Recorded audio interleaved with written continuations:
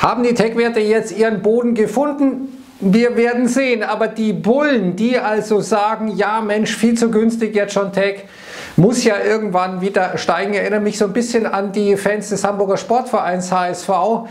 Ziemlich gute Vergangenheit, ziemlich trübe Gegenwart und ziemlich unsichere Zukunft. Und wir sehen, dass die Bullen sich aber nicht beirren lassen und heute ist ein bisschen Auftrieb bekommen. Warum bekommen die Auftrieb? Nun, weil die Erwartungen an steigende Zinsen ein bisschen zurückgehen, aber die gehen aus einem weniger schönen Grund zurück, nämlich weil die Wirtschaft sich offenkundig eintrübt. Und man könnte sagen, naja, das ist nicht wirklich eine Win-Win-Situation jetzt äh, für die Unternehmen, dementsprechend für die Aktienkurse, wenn eben der einzige Grund ist, äh, dass äh, die Hoffnung da ist, dass die Zinsen sinken, weil eben die Wirtschaft sich eintrübt, dann werden sich nämlich auch die Gewinne eintrüben. Und wenn die Wirtschaft sich nicht weiter eintrübt und nicht in eine Rezession fällt, dann wird die Inflation hoch bleiben und dann muss die Fed dennoch mit Zinsanhebungen weiter dagegen steuern. Also so richtig konsistent erscheint es mir nicht, aber es wird heute gespielt, aber wahrscheinlich gibt es auch technische Gründe in dieser überverkauften Situation, gerade bei den Tech-Titeln, dass da heute im Tech-Bereich ein bisschen was nach oben geht, etwa Aktien wie Tesla, die ja zuletzt stark verprügelt wurden. Schauen wir uns mal hier die Rate Hike Expectations an und da geht ein bisschen wieder nach etwas äh, nach unten und vor allem die Erwartungen an diese ganz sicheren Zinsanhebungen von 0,5 Prozent sowohl im Juni als auch im Juli gehen etwas äh, nach unten. Hier sehen wir das in der unteren Grafik nicht viel, aber es geht zumindest nicht weiter jetzt nach oben. Man äh, scheint so ein bisschen jetzt zu sagen, naja, irgendwann wird die Fed doch nervös werden müssen, wenn die Konjunktur sich deutlich abschwächt. Und in dem unteren Chart äh, sehen wir hier diese grüne Linie, Subsequent Rate Cut Expectations, also die Erwartungen, dass die Fed nach Zinsanhebungen dann die Zinsen wieder senken muss die steigen relativ deutlich und das wird unterfüttert durch Nachrichten etwa äh, Chinas Premier Li Keqiang hat heute gesagt, äh, Chinas Wirtschaft äh, steht vor Schwierigkeiten, die größer sind als im Jahr 2020 während Corona.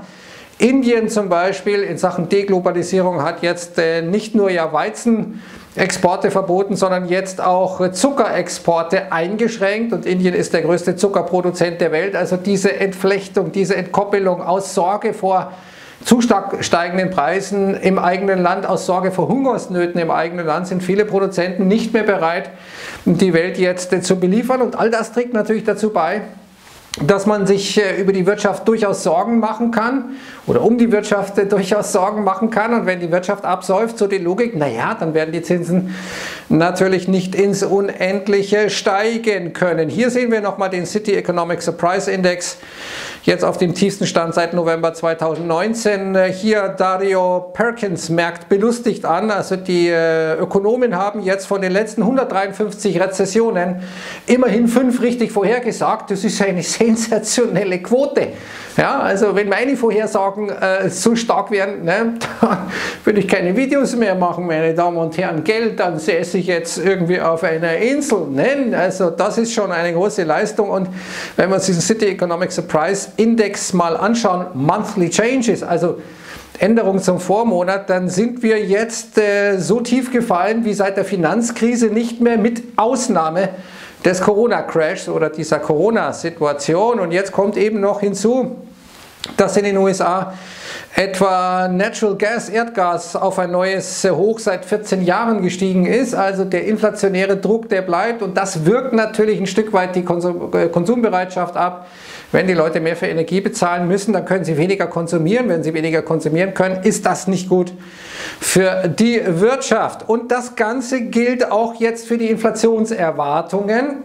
Wir sehen also trotz neuem Rekord an den Tankstellen in den USA, dass die Inflationserwartungen, die längerfristigen Inflationserwartungen, nämlich die für die nächsten fünf bis zehn Jahre, also ab fünf Jahre bis dann zehn Jahre, gell, die Märkte sind manchmal total crazy. Gell. Also wir handeln eine Erwartung, die in fünf Jahren eintritt und dann die nächsten fünf Jahre, in diesen fünf Jahren dann äh, Schwamm drüber. Also auf jeden Fall Inflationserwartung, meine Damen und Herren. Und die gehen nach unten. Das ist jetzt der tiefste Stand seit März. Also man sagt sich, irgendwie wird diese ähm, Inflation, werden diese Probleme die Wirtschaft so unterdrücken, dass auch dann irgendwann die Preise fallen, nach dem Motto, die beste Kur für Äh, hohe Preise sind eben hohe Preise, weil irgendwann die Leute nicht mehr bereit sind, hier zuzugreifen. Und dass die Lage durchaus kritisch ist, sehen wir heute auch mal wieder bei den langlebigen, Auftragsgütern ähm, der Wirtschaft in den USA. Die waren jetzt keine Katastrophe, aber Vor der Vormonat wurde ziemlich äh, deutlich nach unten äh, korrigiert. Alle Kategorien mit einem Miss, also mit einer äh, praktisch Verfehlung der Erwartung. Wir hatten gestern die New Home Sales, also die neuen Hausverkäufe, miserabel Richmond Fed, dann die Warnungen von Snap, von Walmart, von Target äh, und so weiter und so fort. Und wir sehen auch jetzt bei den Zahlen der Unternehmen oder bei den Berichten der Unternehmen, dass die Earnings Revisions, also da, wo die äh, Unternehmen im Prinzip sagen, hm, wird doch nicht so mit dem Gewinn, äh, so etwa heute in Deutschland Nordex, äh, das ist deutlich jetzt in den negativen Bereich gerutscht und ist jetzt so schwach wie seit zwei Jahren nicht mehr, wie seit Mai 2020 nicht mehr. Und ein Unternehmen, das heute wieder herausgestochen ist, ist Dick's Sporting Goods, in den USA durchaus sehr, sehr bekannt. Aktien dann auch wieder zweistellig im Minus, nachdem man eben seine Prognosen für die Zukunft, seine Gewinnerwartungen deutlich nach unten genommen hat weil man gesagt hat, äh, es wird alles ein bisschen schwieriger. Ja, was macht die FED draus? Äh, ich hatte auf diesen Volker-Moment von äh, Jerome Paul ja verwiesen, der gesagt hat, we bring inflation down whatever it takes. Das war so eine Art Mario Draghi-Rede, nur umgekehrt. We do whatever it takes to preserve the euro. Paul hat gesagt, we do whatever it takes to bring down inflation. Und äh, beide sind ja äh, extrem erfolgreich mit ihren Programmen. Und äh, schauen wir uns mal an hier, gell, der äh, Jay, der hat gute Laune, ja, der hat den Nasdaq jetzt begraben, der ist äh, ja deutlich nach unten gekommen, aber insgesamt denkt sich die Fed, auch das hatte ich schon mal thematisiert, nein, ist noch nicht viel passiert, wir stehen ja deutlich immer noch über den Allzeithochs äh, aus dem Februar 2020, damals ja 3400 Punkte etwa im S&P S&P 500. Jetzt sind wir immer noch weit drüber, also who cares? Äh, das ist noch kein Problem, denkt sich der Jerome Paul. Aber es ist ja so, das ist ja, sagen wir mal, eine erzwungene hawkische Wende gewesen, denn Joe Biden hat ihm gesagt, dem J. Paul, bring me inflation down, sonst habe ich ein Riesenproblem. Warum ist möglicherweise Joe Biden in der Lage, so ein bisschen die Aktienmärkte zu opfern und diese Haltung auch auf äh, Paul zu oktroyieren? Nun, weil äh, wir diese Grafik hier sehen, die unteren 90 Prozent der amerikanischen Bevölkerung, sofern man dann von unteren sprechen kann, die haben nur 11 Prozent der Aktienanteile, stehen aber für etwa 80 Prozent des Konsums in den USA, während die oberen 10 Prozent 90 Prozent der Aktien haben, aber nur für 22 Prozent des Konsums stehen. Und für die Amerikaner, für die US-Regierung, auch für die Fed ist wichtig, wir müssen den Konsum am Laufen halten. Und wenn jetzt ein Milliardär etwas weniger konsumiert, dann ist das vielleicht nicht so ein Problem oder vielleicht wird er auch gar nicht weniger konsumieren, wenn seine Aktien etwas weniger wert sind oder seine Immobilien. Aber wenn derjenige, der gerade so über die Runden kommt, nicht mehr adäquat konsumieren kann, dann gibt es ein soziales Problem, das die Politik nicht ignorieren kann. Also Joe Biden denkt sich vielleicht, naja, das ist äh, ja eh nicht meine Wählerklientel, diese Superreichen dann geht es mir ja doch eher um diese 90 Prozent, die kaum Aktien haben. Vielleicht ist das dann gar nicht so schlimm. Ist eine These, ist eine Vermutung, muss nicht stimmen. Aber schauen wir uns mal an, die Stimmen hier etwa von Daniel Eckert von der Welt. Der sagt, der Mai 2020 wird uns als der Monat äh, ins Gedächtnis einbrennen, in dem wir realisiert haben, ja, vielleicht manche schon früher realisiert, gell, aber wir haben realisiert, dass die Zinswende wirklich kommt und keine Chimäre ist. Das hat natürlich Folgen für jede Anleiheentscheidung und Strategie und dann äh, listet er hier die großartigen Zahlen etwa der US-Tech-Unternehmen auf, die ja mit Microsoft, Apple, Alphabet und Amazon äh, vor allem die Märkte ja lange oben gehalten haben. Und da ist schon eine gewisse Verzweiflung bei den Bullen, denn jetzt sagt der CNBC Börsenclown, ja irgendwo, nämlich Jim Cramer, irgendwo ist immer ein Bullenmarkt, gell? Also hier habe ich ein Beispiel aufgeführt, etwa Gasoline Prices, also Tankstellenpreise, äh, neues Allzeithoch in den USA.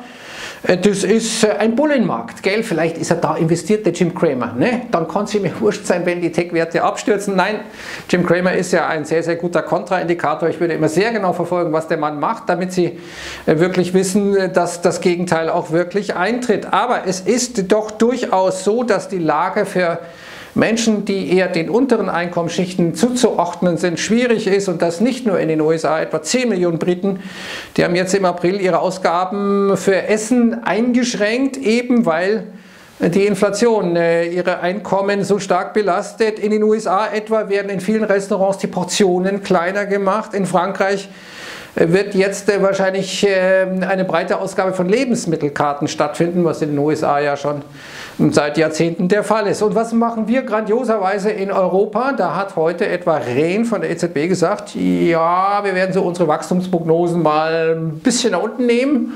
Okay, und das ist natürlich eine super Geschichte.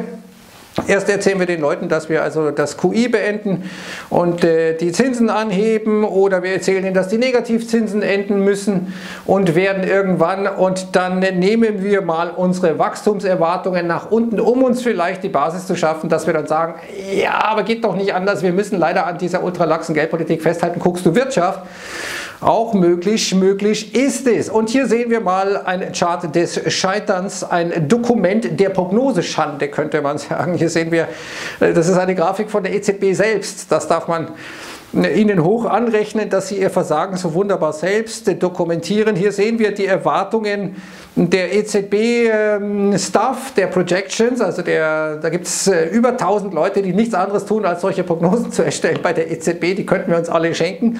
Aber sei es drum, hier sehen wir äh, dunkelblau die reale Inflation und äh, hier ähm, die verschiedenen Prognosen aus den verschiedenen Monaten, jetzt aus den zurückliegenden vier, fünf Monaten. Also es ist immer höher gekommen mit der Inflation, als die EZB geglaubt hat. Und inzwischen, und das hat Lagarde heute auch nochmal in Davos gesagt, Zinswende ist eingeleitet, ist eingeleitet. Und jetzt gibt es noch die letzten Mohikaner, das gallische Dorf namens Panetta, der Italiener, der auch im äh, Direktorium der EZB sitzt, der gesagt hat, ja, wir müssen ein bisschen vorsichtig sein, weil sonst ist ja die Wirtschaft ist ja fragil. Also die Italiener leisten Widerstand, aber das scheint mir nicht sehr aussagekräftig oder nicht sehr zukunftsträchtig zu sein.